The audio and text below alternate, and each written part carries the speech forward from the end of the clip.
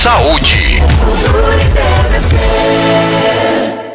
Legal. Cientistas estão correndo contra o tempo para investigar aí essa nova variante do coronavírus que foi identificada inicialmente lá no Reino Unido, lá no, na Inglaterra e também é, agora está sendo registrado aqui no Brasil. Essa nova variante se espalha com mais facilidade, inclusive entre as crianças, né, Tati? Caso essa hipótese seja confirmada, hum. ela poderia explicar grande parte do aumento da transmissão associada a essa mutação do vírus, viu, uhum. Totó? Isso porque, segundo o governo britânico, né, as primeiras, os primeiros estudos, essa variante pode ser de 50% a 70% mais transmissível que outras versões do vírus. Olha aí. Daí tamanha preocupação, né? O assunto levanta uma série de questionamentos e para tentar esclarecer um pouco sobre o que a gente já se sabe, é que a gente uhum. conversa agora com o nosso convidado do dia, o Dr. Vinícius Jesus Rodrigues Neves, que é médico da família da Rede Pública de Saúde aqui de Três Lagoas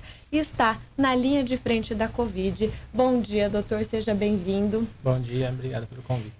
Doutor, eu começo perguntando o que se sabe até o momento a respeito da nova variante do coronavírus. Porque de coronavírus acho que as pessoas estão carecas de saber né? é, como a... se prevenir, o que é. Mas e com relação a essa nova variante, o que se sabe até o momento? Bom, o que a gente sabe é que na verdade não é uma nova variante, são novas variantes. Então são processos diferentes que têm acontecido, inclusive nos diversos países. Talvez a variante que a gente tem no Amazonas não é a mesma do Reino Unido exatamente, nem a mesma da África do Sul, que é onde tem surgido. É, o que se sabe, assim, é, é, aquela história de, de trocar o pneu com o carro andando, né? Vai uhum. se descobrindo aos poucos. Mas o que se sabe é que é, se trata da mesma doença, não parece que ela tem um grau de gravidade maior, Sim. não parece que ela mata mais, mas ela infecta mais pessoas. O, o, grau de contágio é mais rápido? Seria o grau de desse... contágio é muito maior. Ah, muito maior. Esse é o grande problema dela. Esse é um dos grandes problemas. Então, a infecção é muito maior, ela se espalha muito mais rápido.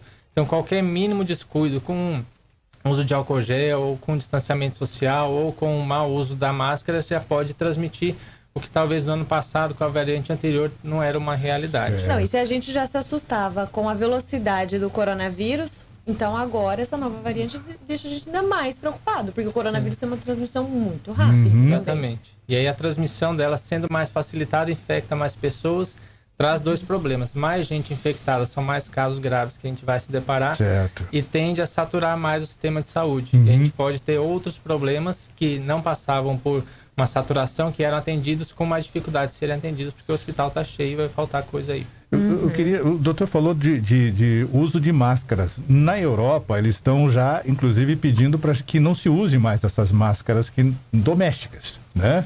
Que use mais aquelas máscaras profissionais que, que, que seria, é, é, filtrariam melhor o ar do que aquilo que nós estamos. Seria o caso da gente modificar já? Mudar aqui no Brasil para a gente se prevenir? Eu acho que sim. Eu é? acho que isso já é bastante importante. Alguns países não só não têm pedido, como têm proibido a utilização de máscara de pano. Sim. Né? Que para utilização comum, utilização igual essa máscara que eu estou usando, que é a máscara cirúrgica. Certo. Ela tem uma proteção tripla, filtra muito melhor. As máscaras de pano, elas filtram com muito menos qualidade. Puxa vida, hein? É. Um alto investimento, então. Não, é porque exato. as máscaras caseiras, né, de tecido, lava todo dia, reutiliza, uhum. essas são descartáveis. Seria né? o caso, doutor, de usar duas máscaras, como eu já vi alguns usando? aumenta a filtragem ou não? Não adianta não, nada? Não vi nada escrito ainda sobre a utilização de duas máscaras, uhum. mas eu acho que não, não fica nem confortável de se utilizar. É, imagino que e sim. uma máscara é suficiente, é. Né, desde que utilize corretamente. Não encostar na frente da máscara, não ficar tirando toda hora. Se tiver que tirar, tirar pela aba, uhum. né, passar um álcool gel antes de tirar e colocar, trocar a cada duas ou pelo menos três horas. Se ficar úmida, trocar também. Certo. Esse cuidado tem que ser E aquela coisa de colocar lá embaixo aqui para proteger contra a cachumba também é um, ah, um procedimento incrível. Se fosse cachumba resolvido. não é o caso, né? Doutor, Exato. voltando a falar então dessas novas variantes, os sintomas são os mesmos já conhecidos ou eles são mais agressivos? Sintomas são a mesma coisa, né? O, o quadro uhum. clínico é o mesmo, só a quantidade de pessoas infectadas que parece ser maior. Então, como saber? Só quem vai saber são os institutos que fazem análise da secreção nasal. Você, enquanto paciente, você não vai saber qual variante você está infectado. Uhum. Você está com coronavírus, os cuidados são os mesmos que tinha que ter, tanto antes quanto durante o tratamento. Essas vacinas que estão foram desenvolvidas, a, a, pega também essa, essa nova variante ou, ou ainda vai esse, esse é um carecer problema. de um outro estudo daí? Esse é um outro problema, não Uhum. se tem certeza não. É, Aí, assim, parece que essa variante do Amazonas, as vacinas que a gente tem disponíveis são suficientes. Agora parece que a de outros países a imunidade já é menor. Parece que Ah, enfrenta e essas tanto. novas que saíram logo depois do Coronavac, eu acho É, que a tem a, do a- Sputnik, né, do, da Rússia. A de Sputnik eu não, não Ah. tenho informação. A Coronavac, ela me parece que é a que pega mais variantes. Ah, ela tem uma tá. proteção maior. Essa vacina de, de Oxford parece que o processo de produção dela não pega tantas variantes. Não tem Certo. tanta... é, é, a produção dela não é tão elaborada quanto a da Coronavac. Que a Coronavac é aquela uma que todo mundo criticou, Criticou. né? Que disse que era da China, aquela É, coisa eu toda, não não vou vou tomar tomar. É, exato. Gente, eu tô preparada. Arranco meu blazer agora, o que vier. Verdade. Doutor, por conta disso, né, dessa nova variante aí tão citada, o senhor acredita que a pandemia pode levar ainda mais tempo para acabar? Ah, sem dúvida, sem dúvida. É, eu acho que uma coisa que a gente tem que reforçar, muito importante, é que a vacina ela não vem para acabar com a pandemia Sim. ainda não. Tomando a vacina, o cuidado com máscara, distanciamento social ainda vai ser mantido. Acredito que a gente ainda vai usar máscara por um bom tempo. Certo. O que a- as vacinas vêm trazer para a gente é uma segurança maior em termos de evitar perdas, da gente ter menos pessoas morrendo e evitar a saturação dos hospitais, para que a gente consiga trabalhar com um pouco mais de tranquilidade. É, é muito provável que o, o- a pandemia ela vá se reduzindo e se tornando muito próximo daquilo que a gente vê na H1N1 ou na gripe comum, que a gente tem que tomar vacina todo ano, todo ano tem que Certo. surgir novos tipos de vacina. E aquela história, né? Quantos a gente não conhece? Que toma vacina para gripe e pega a gripe do mesmo jeito. Isso. Só que não morre da gripe. Então, o que deve acontecer é isso. A vacina ela vai trazer um- uma grande possibilidade de eu não precisar de um hospital, de ser entubado, ir para UTI. Certo. Pode ser que eu pegue Covid, mas num quadro mais leve, que eu passo por ela e fico bem.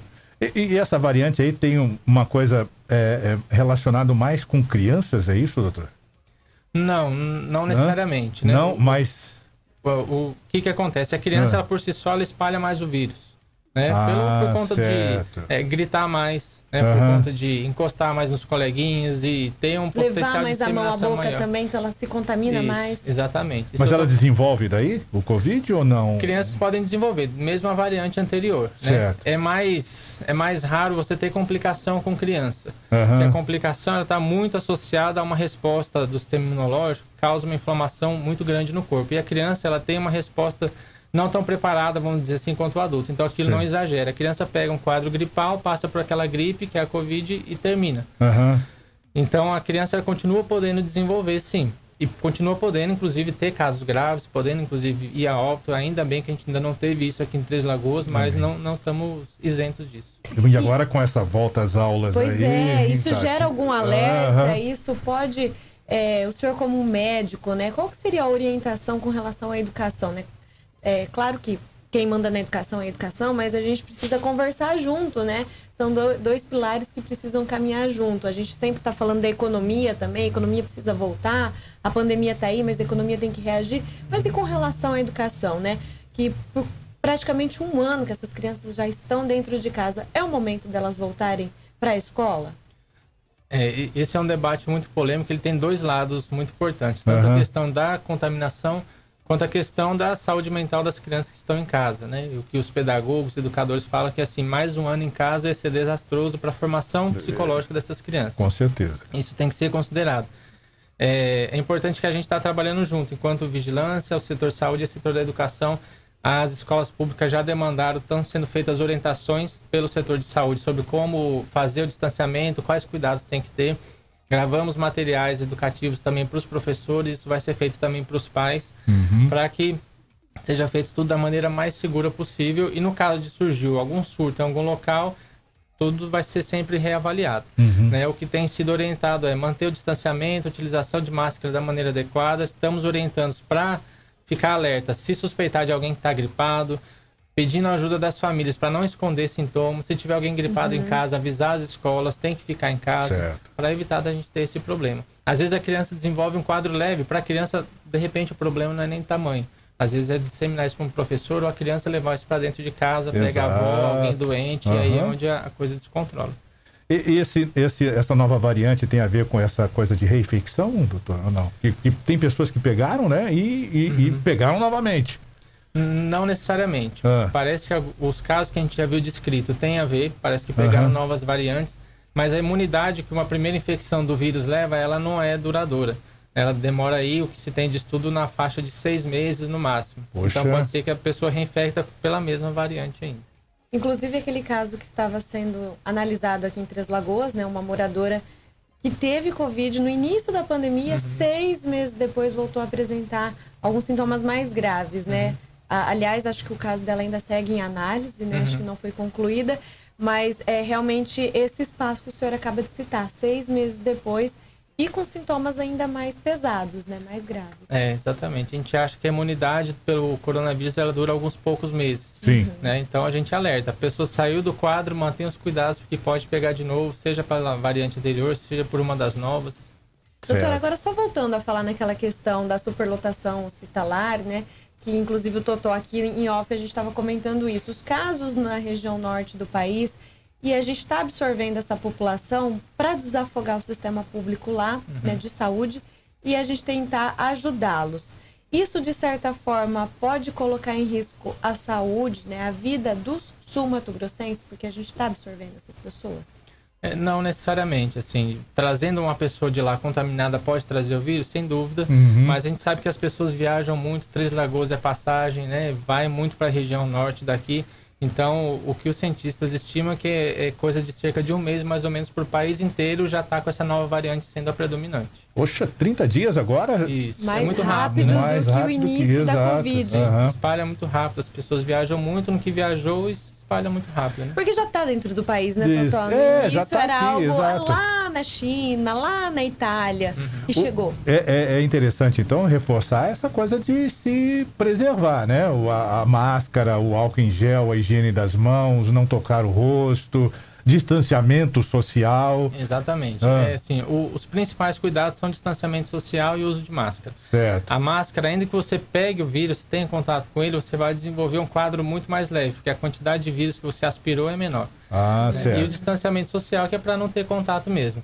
Importante, é uma coisa que a gente reforça também, é o cuidado com o distanciamento. Essa história de um metro e meio, ah. ele é muito relativo. Isso vai depender do ambiente onde eu estou. Se eu estou num ambiente onde as pessoas estão conversando num tom normal, um pouco mais ventilado, um metro e meio é suficiente. Certo. Se eu estou num ambiente onde de repente tem música alta, as pessoas estão falando muito alto, estão correndo, o distanciamento tem que ser maior porque eu estou soltando mais ar ali, né? Certo. Por exemplo, parque de diversão, mesmo ao ar livre, é um ambiente altamente contaminante. Nossa. Poxa! Pra você ter ideia. E essa Bares, coisa, restaurantes. Esses, que eu ia perguntar. Bares, restaurantes, academias são locais onde tem que ter bastante cuidado. Principalmente se tiver música alta, música ao vivo, esse tipo de coisa dá para ser utilizado com segurança, mas certo. o cuidado, o distanciamento tem que ser. Uhum. Academia o senhor cita por conta do suor? Por conta que as pessoas estão ali correndo, estão né? respirando, respirando de, de forma mais, mais forte, né? Pelo que eu entendi. É isso, isso né? E daí? A intensidade da respiração. Uhum. Dá para fazer academia com cuidado? Dá. Se conseguir fazer de máscara, muito melhor. Isso já evita tanto de disseminar quanto de pegar o vírus. Ótimo. Aliás, é obrigatório fazer academia de máscara, de máscara é. né? A lei municipal prevê que uhum. se não tiver de máscara, o dono do estabelecimento e esse cliente serão multados, uhum. né?